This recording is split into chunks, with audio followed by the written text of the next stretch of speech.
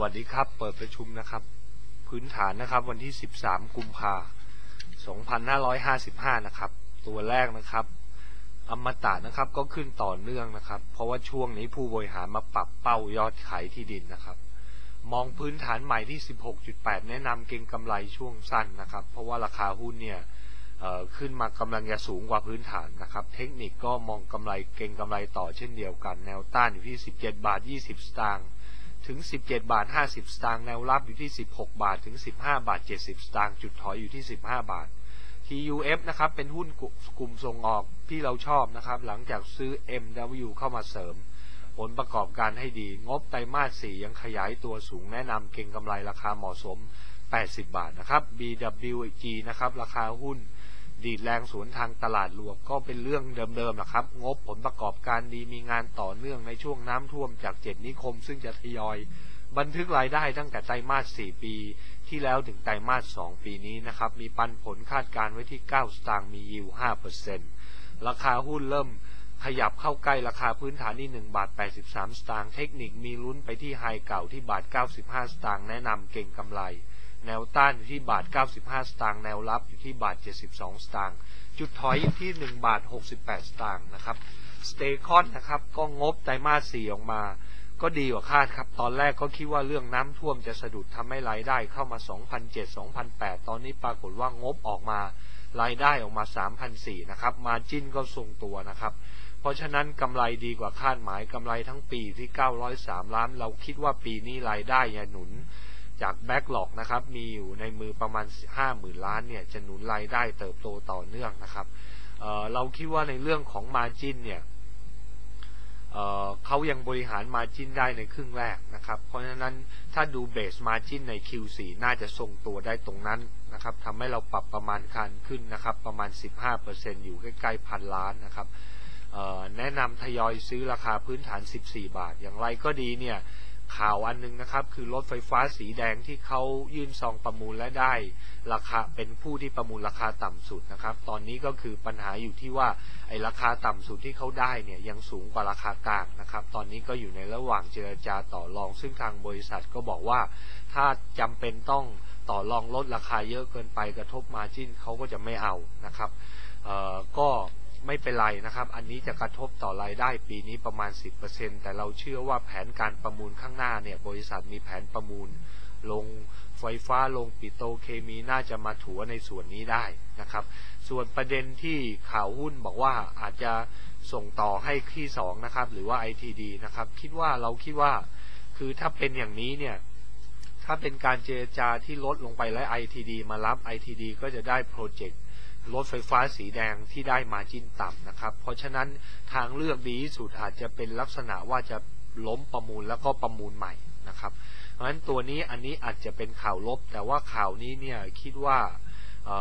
มีการสะท้อนเข้าไปในราคาตลาดเมื่อสัปดาห์ที่แล้ว ในช่วงที่ ITD ปรับขึ้นมีวัน ITD ปรับขึ้นสเตคอนปรับลงนะครับ เพราะฉะนั้นตัวนี้พูดถึงปัจจัยนี้ยังมีโปรเจกต์ อื่นๆ ถ้าเขาชวดอันนี้ไปนะครับ ก็ยังมีอย่างอื่นมาเสริมได้นะครับ แนะนำทยอยซื้อนะครับ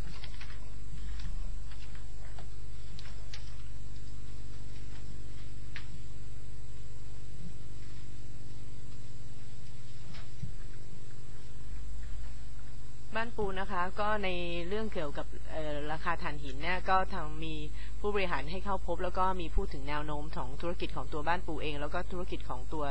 ถ่านหินราคาในเรื่องราคานะคะก็มองว่าราคาถ่านหินเนี่ยก็ยังคงอยู่ในระดับสูงอยู่ในระดับช่วง 110ถึง120 ล้านเหรียญได้นะเอ้ย110ถึง120 เหรียญต่อตันได้นะคะ ซึ่งตรงนี้ก็เหตุผลหลักๆ เขาก็คงยังมาจากจีนนะคะ ในปี 2554 เนี่ยจีนนำเข้าถ่านหินสุทธิเนี่ยสุทธิก็คือการทั้งนำเข้าแล้วก็ส่งออกเนี่ยยังเป็นบวกนะคะนำเข้ามากกว่าการส่งออกนะอยู่หนึ่งร้อยสี่ล้านตัน แล้วก็มองว่าปีนี้ก็จะนำเข้าและส่งออกเน็ตสุทธิแล้วก็ยังเพิ่มขึ้นอีกนะคะสิบหกล้านตัน จะเป็นการนำเข้าสุทธิอยู่ที่ร้อยี่สิบล้านตัน ในอินเดียก็เช่นเดียวกันนะคะในปีสองหห้าสี่ที่ผ่านมาก็นำเข้าสุทธินะคะ โดยนำเข้าสุทธิ 87 ล้านตัน ในปีนี้ก็มองว่าจะเพิ่มขึ้นมาเป็น 98 ล้านตันนะคะ ซึ่งหลักๆ ส่วนใหญ่ก็คือจีนกับอินเดียเนี่ยมีการขยายตัวของธุรกิจของในประเทศเขาเอง แล้วก็มีการสร้างโรงไฟฟ้าใหม่ ๆ เข้ามานะคะ ดังนั้น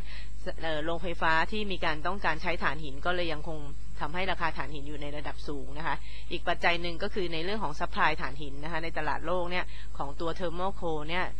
ในปี 255 เนี่ย demand มันอยู่อยู่ที่ประมาณ 796 ล้านตัน ในขณะที่ supply อยู่ที่ 793 ล้านตัน ก็คือ demand ก็ยังมากกว่า supply นะการที่ demand มากกว่า supply ก็ยังคงทำให้ราคาถ่านหินยังอยู่ในระดับสูงได้นะคะ สำหรับตัวบ้านปูเองเนี่ยปีนี้จะมีการ growth จากอะไรนะคะก็คือในธุรกิจของตัวถ่านหินเขาหลังจากที่เขาเข้าไป take ตัวออสเตรเลียเนี่ยและตัวของเขาเองก็มีการขยายกำลังการผลิตเพิ่มมากขึ้นนะคะก็มองตั้งเป้ายอดจำหน่ายถ่านหินของทั้งตัวเองในอินโดนีเซีย แล้วก็ในออสเตรเลียอยู่ที่ 43 ล้านตัน เพิ่มขึ้นประมาณ 10.8%เยอนเยียแล้วก็ราคาขายถ่านหินนะคะในปีที่แล้วเนี่ยในปี 2554 ราคาขายเฉลี่ยอยู่ที่ 97 เหรียญต่อตัน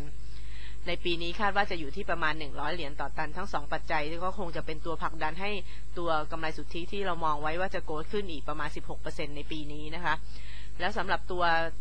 ซื้อเหมืองถ่านหินในมองโกเลียนะคะก็ได้ทำการซื้อเสร็จสิ้นแล้วหลังจากทำ tender offer ในตลาดหุ้นของออสเตรเลียนะคะของสำหรับคุณนูแล้วก็ดีลิสออกจากตลาด ตัวนี้เนี่ยก็จะถือว่าเป็นอนาคต ของตัวบ้านปุ๋ยตัวหนึ่งที่จะขายถ่านหินเข้าไปในประเทศจีนนะคะ ซึ่งก็ต้องใช้เวลาประมาณอีก 2-3 ปีที่จะพัฒนาไปเรื่อยๆ มีเหมืองถ่านหินอยู่ทั้งหมด 10 แห่งนะคะ ก็ในเรื่องช่วงเริ่มต้นเนี่ยคาดว่าก็มีการเพิ่มเริ่มการผลิตได้กะจะเป็นในปีนี้เลยอยู่ที่ 1 ล้านตัน แล้วก็จะเพิ่มขึ้นไปเรื่อยๆ เป็น 2 ล้านเป็น 3 ล้านตันในปีที่ 2 แล้วก็ 5 ล้านตันในปีที่ 3 นะคะ เรายังมองเป็นปัจจัยบวกทั้งในราคาถ่านหินที่สูง แล้วก็ในวอลุ่มของการขายที่มีปริมาณเพิ่มขึ้นจากเหมืองใหม่ ๆ ของเขานะคะ เราแนะนำซื้อราคาพื้นฐาน 840 บาทต่อหุ้นนะคะ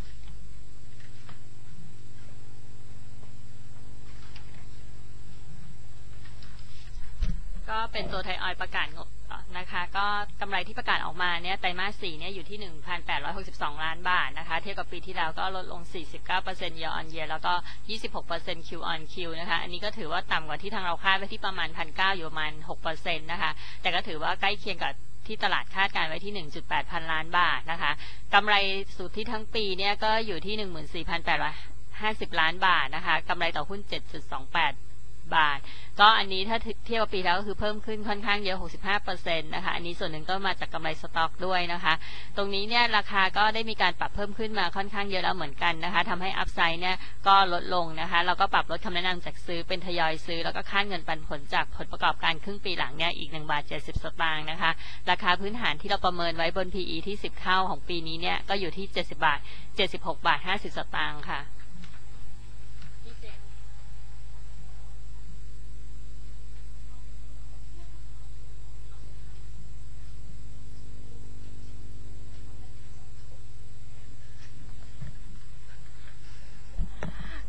ก็เมื่อวันที่ 11 นะคะ ก็มีปัญหาเรื่องไฟไหม้ที่โรงงานของ CUF นะคะ ที่สมุทรสาครนะคะ ซึ่งทางบริษัทเนี่ยก็ออกมาชี้แจงว่าในส่วนที่ไฟไหม้เนี่ยก็ไหม้เฉพาะในส่วนสายผลิตกุ้งเท่านั้นนะคะ ซึ่งโรงงานโรงนี้เนี่ย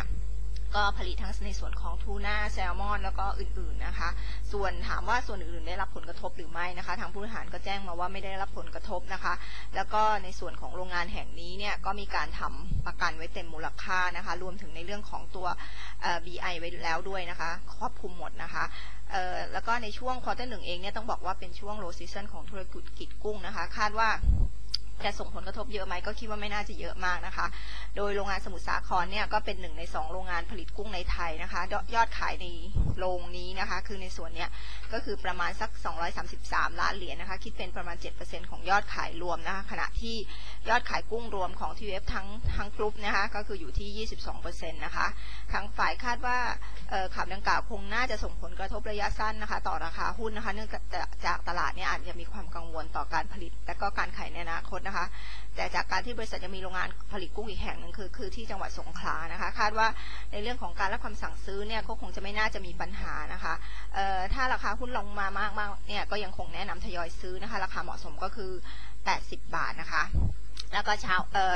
ทางบริษัทก็มีแจ้งนิดนึงนะคะ ว่าวันนี้เนี่ยโรงงานดังกล่าวเนี่ยก็จะกลับมาผลิตได้ตามปกตินะคะเเมื่อเช้านี้ก็มีประกาศงบเดลต้ามาค่ะกำไรออกมานะคะ Q4 เนี่ยก็คือ 644 ล้านบาท ถ้าเทียบกับปีที่แล้วเนี่ยเพิ่มขึ้น 24%นะคะกำไรออกมาเนี่ยดีกว่าที่ ทางฝ่ายแล้วก็ตลาดคาดไว้นะคะ โดยเฉพาะในเรื่องของมาจินเนี่ยดีกว่าที่คาดไว้ถึงเกือบ 2%นะคะ ยอดขายเนี่ยดีกว่าคาด 2%เช่นกันนะคะ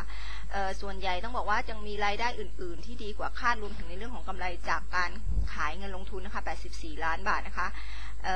ทางฝ่ายคงแนะนำถือสำหรับเดลต้านะคะเอ่ออาจจะมีการปรับในส่วนของประมาณการนะคะในใหม่นะคะคือพรุ่งนี้จะมีประชุมนักวิเคราะห์นะคะ ราคาเหมาะสมก็คือ 19 บาท 50 นะคะ อิงบนพีที่ 9 เท่านะคะ พร้อมกันนี้ทางเดลต้าก็มีประกาศปันผลนะคะ คือบาท 20 นะคะ ยิวสักประมาณ 6%นะคะ XD วันที่ 27 กุมภานะคะจะจ่ายวันที่ 9 เมษายนนะคะ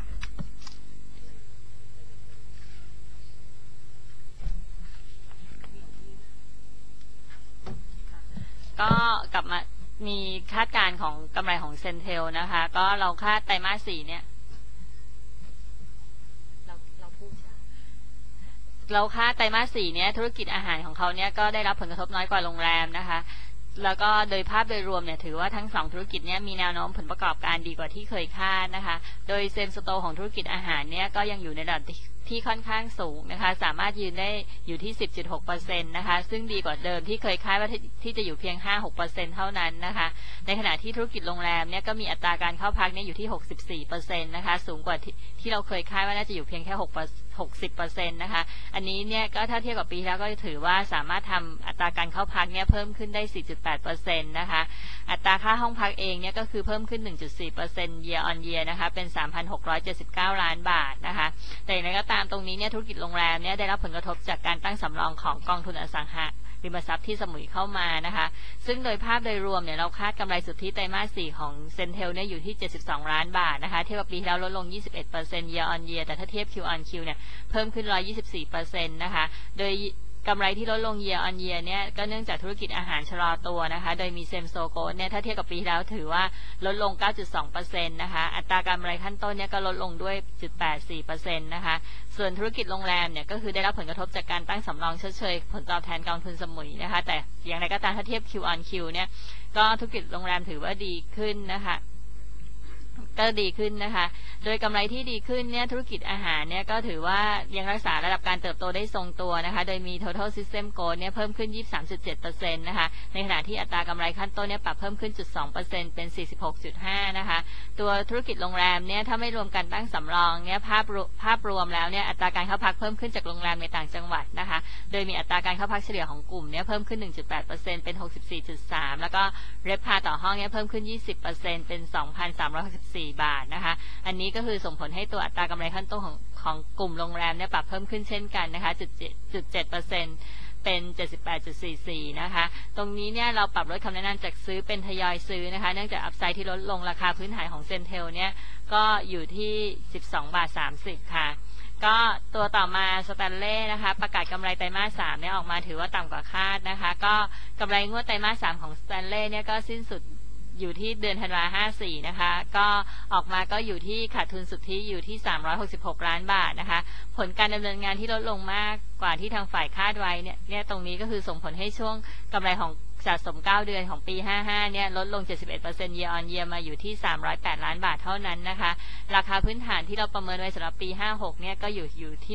178 บาทนะคะ ตรงนี้เราก็แนะนำทยอยซื้อนะคะ เรามองว่าไตรมาสถัดไปเนี่ย จะปรับตัวดีขึ้นจากการฟื้นตัวของอุตสาหกรรมยานยนต์นะคะ ด้านราคาสแตนเล่เนี่ย ถือว่าปรับขึ้นค่อนข้างน้อยนะคะ เมื่อเทียบกับกลุ่มดังนั้น เราก็ยังแนะนำทยอยซื้อค่ะ ก็จบในส่วนพื้นฐานค่ะ